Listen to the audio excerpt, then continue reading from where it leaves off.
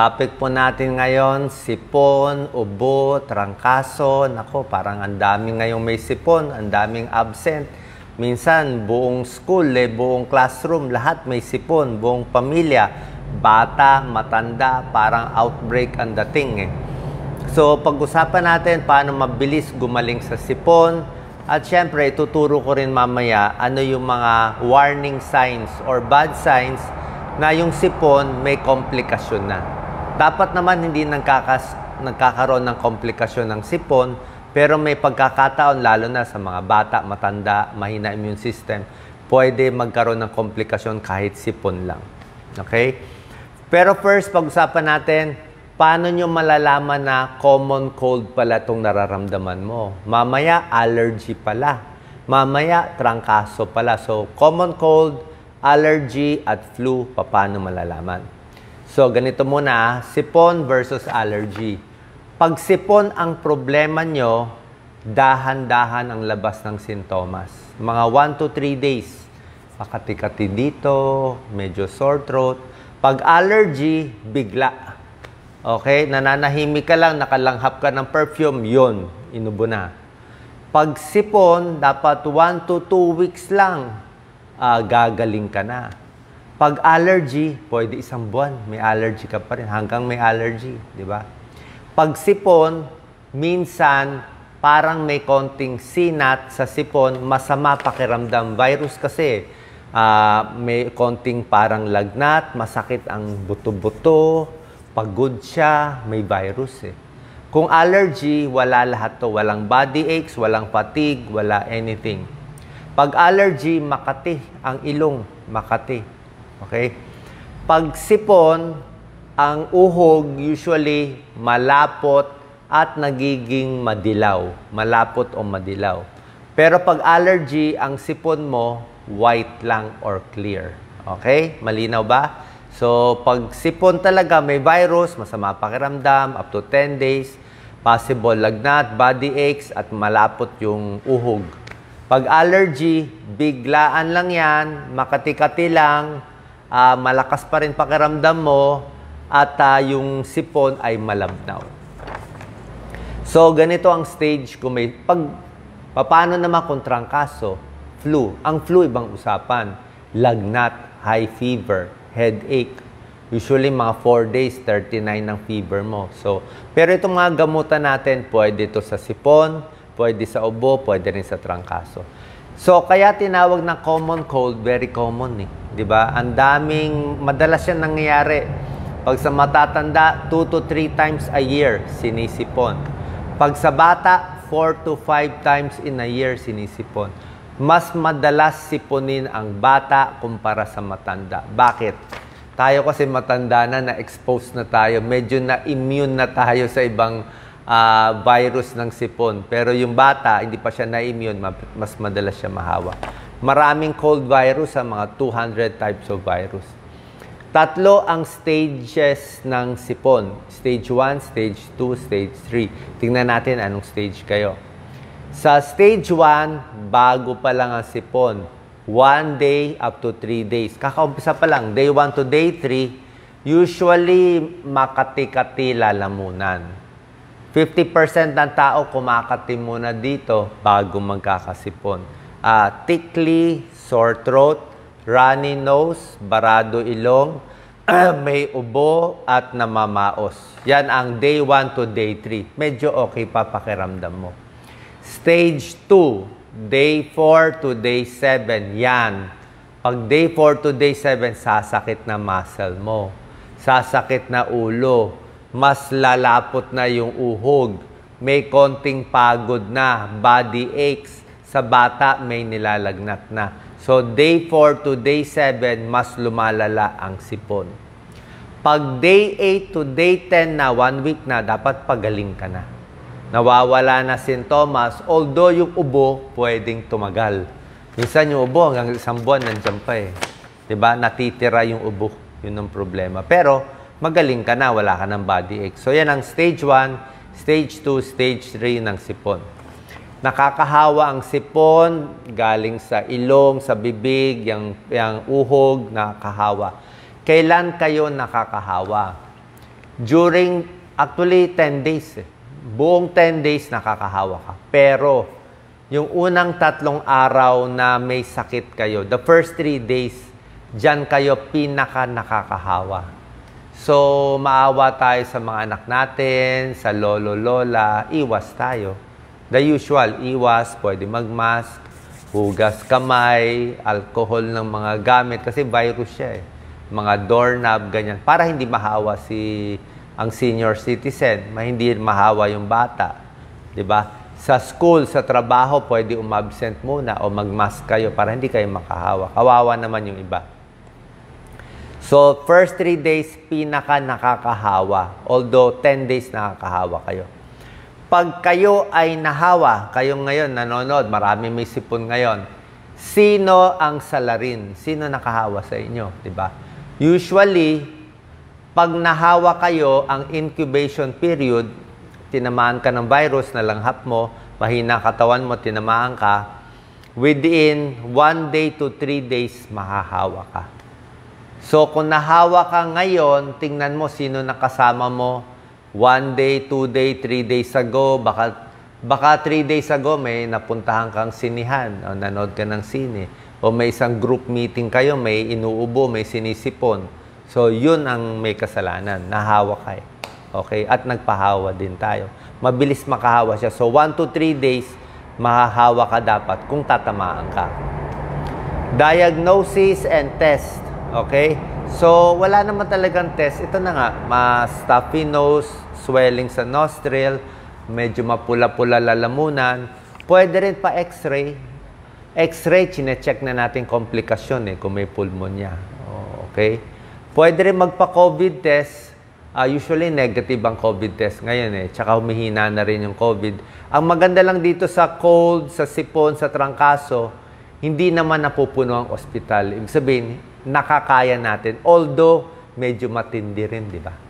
Pag sinipon ka na trangkaso ka, medyo a little, medyo baldado din tayo dito. Ang, ang daming may sakit. Kasi nga kumakalat yan. Pero, hindi naman lumalala. Hindi siya bagong virus hindi siya ganun ka-deadly kasi nga uh, ang nag-iingat lang yung mga mahina ang immune system. Kailangan mo ba ng antibiotic? Actually, simpleng sipon, hindi kailangan ng antibiotic. Mamaya, pag-uusapan natin yung mga komplikasyon na kailangan magpa-check sa doktor. Okay, home remedies para sa sipon. Okay, simple lang to. Pag may konting lagnat, pwede paracetamol, pero Usually sa sipon, di ka na magpa-paracetamol. 38 degrees pataas, pwede mag-paracetamol. Pero kung 37.5 lang, ano na lang, inuman mo na lang maraming tubig. 8 to 10 glasses of water, pwede na yan. Bababa na yung lagnat. Gamot sa sipon, cold remedies, di ba? Usong-uso yan. Bibili ka over the counter. Ako po, bilang internist cardiologist, hindi ako mahilig magreseta ng gamot sa sipon. Pag bata ka pa, uminom ka ng gamot sa sipon, okay. Pero pag meron ka ng sakit sa puso, mahina puso mo, senior ka na, medyo wag na uminom ng gamot sa sipon. Bakit? Meron siyang pseudoephedrine. Ephedrine yan, parang epinephrine yan. So, pag uminom ka ng gamot sa sipon, bibilis ang kabog ng puso, paano kung mahina puso mo. So, meron nagsa-side effect dito. Okay, pambata lang yan. So, paano sa sipon? Tubig lang, 8 to 10 glasses of water. Uh, pwede kang mag-steam kung gusto mo. Chicken soup, pwede na yan. Para sa allergy, pag allergy ang problema, anti-allergy ang gamot. Okay, ibang usapan yon.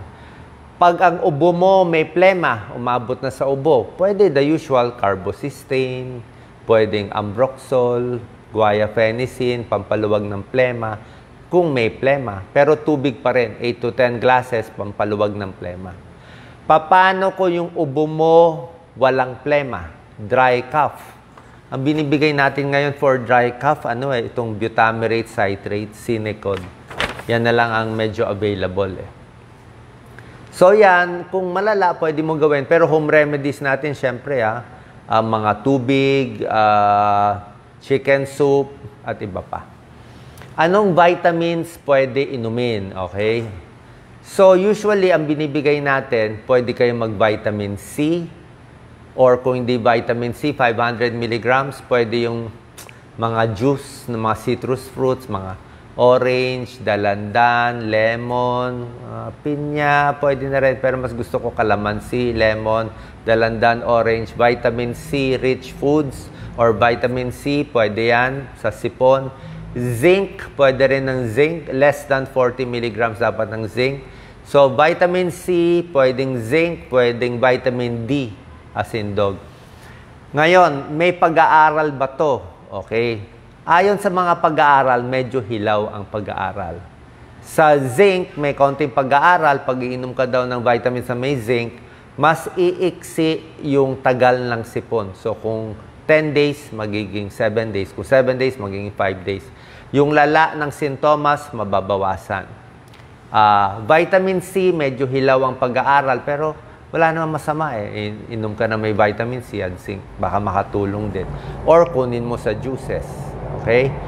Magpahinga ng magpahinga, iwas alak, iwas kape, iwas alak, iwas kape. Pag may sakit, madidehydrate ka, gusto mo maraming tubig. Hugas kamay, wag maghawa ng ibang tao, matulog, kumain, maigi, bawas exercise. Huwag masyado magbilad sa araw.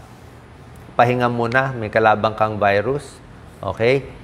Ngayon, eat, sleep, cool place, water, bawal manigarilyo, okay?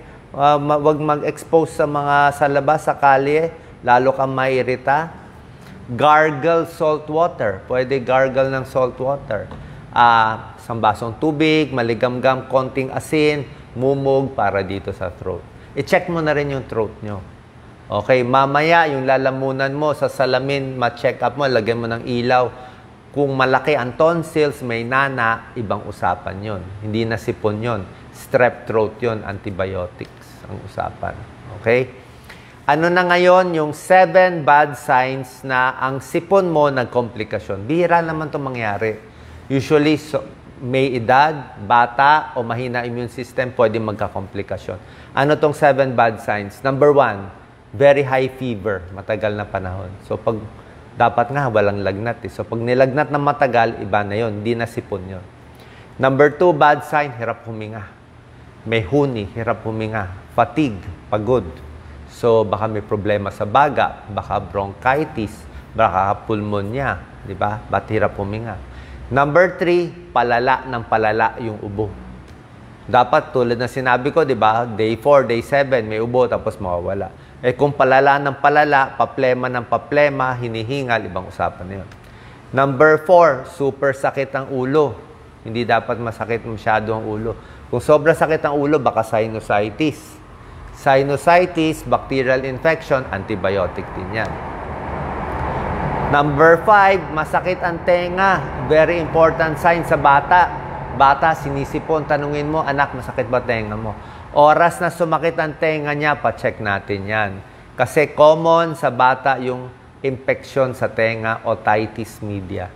Otitis, minsan nagla, luma, na, pumuputok pa eardrum, lumalabas yung luga sa tenga. Diba yung sipon, sabi nila lumalabas sa tenga. Antibiotics din yan. Common yan sa bata. Number six, yung sinabi ko, sore throat, na may nana dito, uh, strep throat yun. At seven, chest pain. Pag masakit ang dibdib, eh, ibang usapan yun. Baka puso, baka baga. So ito yung pitong bad signs na iingatan natin. Fever, hirap huminga, malalang ubo, headache, ear pain, sore throat, chest pain. Ano pa yung dagdag na babantayan? Sukatae. Diba? Baka iba na to, sukatae. Sobrang pagod, sobrang hapo, baka na. Baka iba na to. And lastly, disoriented. Hindi na gano'ng makausap parang iba yung iniisip. Kasi itong mga virus na to, bihira lang naman, pero minsan salbahe itong mga virus na to. May pumupunta sa puso, myocarditis, may pumupunta sa utak, meningitis.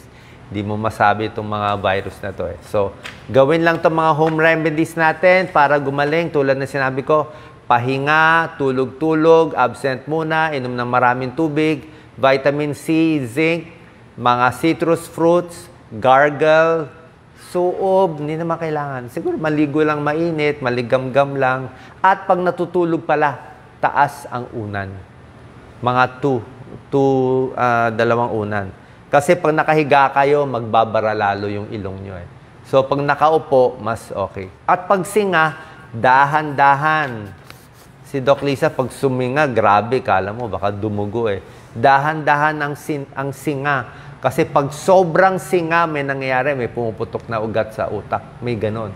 So, wag sobrang singa, wag sobrang ubo, tamang-tama lang. Ha? So, kasi biglang tataas yung pressure. Normal singa, normal ubo. Sana nakatulong tong videos para sa iyong mabilis na paggaling. Salamat po. Share po natin.